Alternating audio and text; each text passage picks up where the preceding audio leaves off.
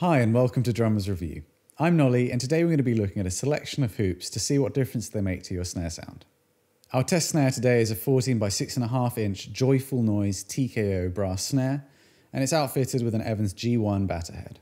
We started with the drum's stock hoop, which is a heavy duty solid brass triple flange hoop, before moving to a standard 2.3mm steel triple flanged hoop. There's a die cast steel hoop, an S hoop also made out of steel, before finally moving to a wood hoop made out of walnut.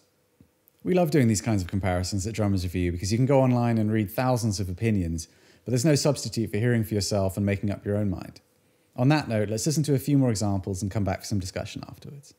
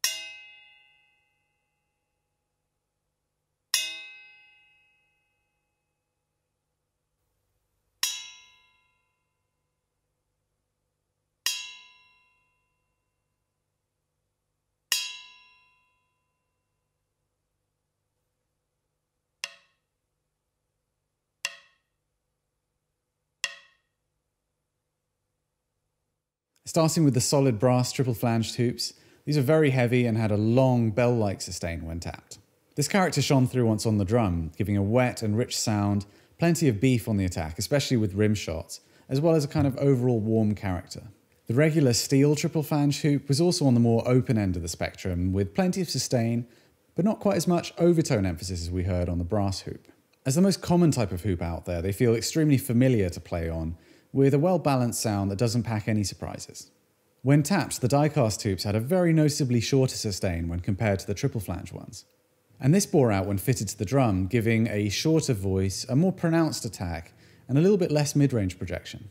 It makes sense that diecast hoops are often the choice of players playing louder music styles who want a bit more of a cutting and dry voice. The S hoop had an extremely short sustain, even more so than the diecast hoop, which took us by surprise. With the inward facing top flange presenting a lower profile above the drum, it does take a little bit of adjustment time in order to be able to accurately and consistently catch rim shots and cross sticks. Sonically, the S hoops were focused, retaining more of the mid range than the diecast had, but at the same time presenting quite a dry voice. It's easy to see why these are marketed as a kind of in between. We're also keen to hear the S hoops on toms, particularly to replace uh, triple flange hoops if those are on there, because we think the shorter voice, especially on the batter side, could be cool without changing the voice too much. And additionally, since it's not that normal to play rim shots on your toms, you're probably not going to notice much change in feel there. Finally, the walnut hoop, while sounding like a woodblock when tapped, actually translated to quite a wet snare sound once installed. There's loads of attack to rim shots, and overall the drum had a little bit less beef than it had when we had the metal hoops installed. We noticed that the wood hoops generated a little bit less body than the metal hoops did, and additionally there was a ton of attack for the rim shots, which might surprise some people.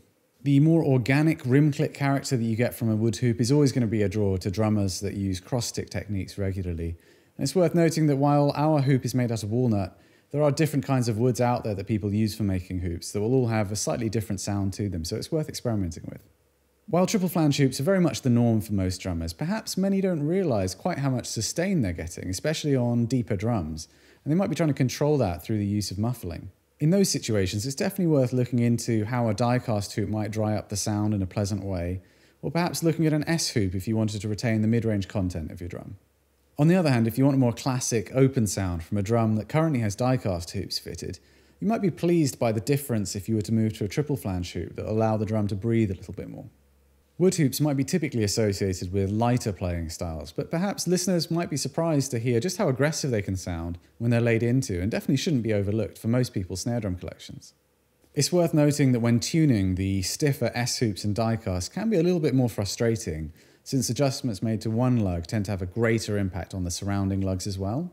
You should find though that once you've leveled out the head, you're able to crank it down more without choking, and also that the head's going to maintain its pitch a little bit better as you play on it. We hope this comparison has been interesting and informative, and we'd love to know your thoughts too, so please leave us a comment. Don't forget to subscribe to get more content in the future, and I'll see you next time at Drummers Review.